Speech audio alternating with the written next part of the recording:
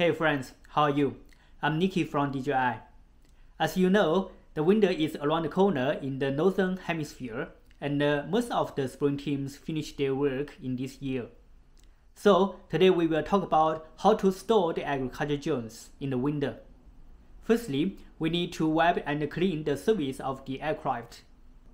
And you could use 2 to 3% of soda water to clean the spraying system.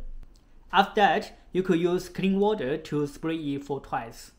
And please remember to drain the liquid in the spraying system finally. Secondly, please remember to put the machine and parts in a dry location rather than outside, because the temperature is very low outside.